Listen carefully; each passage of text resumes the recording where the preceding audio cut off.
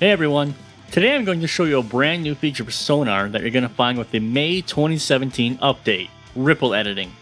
Users who have Platinum, Professional, and Artist versions of Sonar are going to be able to take advantage of this new feature.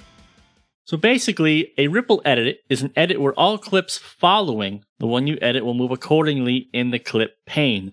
This means you can rearrange sections of your song and other elements of your song will snap back together. The other cool thing about this feature in Sonar is that your automation will follow suit. In Sonar, we have two different types of ripple editing features, and they are both available from the options menu in the track view. If you select Ripple Edit Selection, you will only be affecting the track that you're working on. Whereas with Ripple Edit All, when you have this selected, all the tracks, all the markers, and all the meters will also be affected by your edits. Now just to visually demonstrate this, I've got these clips here. Now if we have ripple editing off, you know, anytime we move or copy and paste these clips anywhere on the track, the other clips will remain unaffected. So if I take this blue clip here, paste it in between the orange and green one here, we get this result. Now other than it looking like uh, basically some accidental piece of modern art, uh, this is not at all what we want to do. So let's just turn on ripple editing and do this process again and see what happens. Now, as you saw, when I did the same exact thing, but I had ripple editing enabled, it just moved the clip over.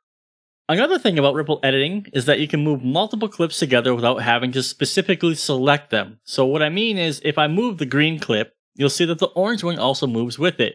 If I go all the way over here to the red one, same deal. Everything moves. To see how you could apply this in real life, let's actually open up the session I used to record the demo song that you heard in just the beginning of this video. I'm going to enable Ripple Edit All here in the options menu.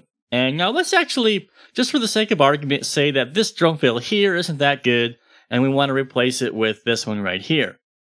The first thing I'm going to do is I'm going to split the section that I want to copy. And after that, obviously I'm going to copy it. So now that I have it copied, let's put it into place. I'm going to go just before the fill here.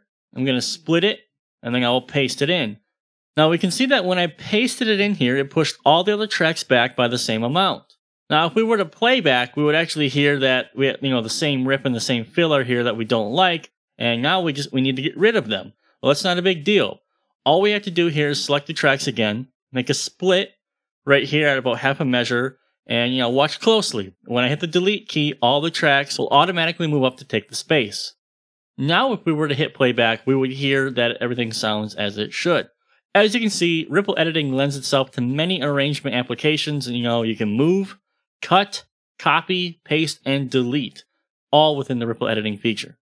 Now, on a personal note, I've worked on many songs where I realized well after I'd recorded the parts and been working on it for a while that, hey, I'd really like to make an intro to this song. Well, even in the case of just, you know, this session of 15 tracks, it would be really annoying to have to zoom all the way out, make a big box selection, zoom all the way back in, move the tracks manually, and then, man, it'd be really annoying if you realized you didn't move your tracks far enough to give yourself enough space for an intro, wouldn't it? Well, thankfully, with ripple editing, not a big deal anymore. Just click any clip, click and drag for days and days and days. Now, let's say that you're trying to master some tracks and your client keeps giving you the runaround about the order of the tracks. You know, one day he wants the tracks in this order, then that order, and blah blah blah order.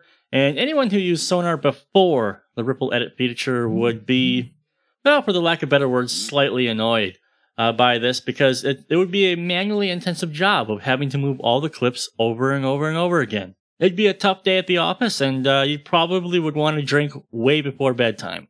This is where ripple editing can save the day because literally you can change your order as many times as you want without having to make a single selection or reach for the zoom key. Let's say we want this blue clip to go after the green clip. Well, Control X, set the cursor over here, Control V, move this clip back, boom shakalaka, we're done.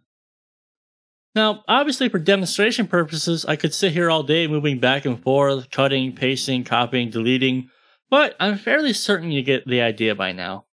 So this pretty much covers the basics of the new ripple editing feature that you're going to find in the May 2017 update. If you have any questions, be sure to leave a comment down below. Thanks a lot, guys. Have a good one.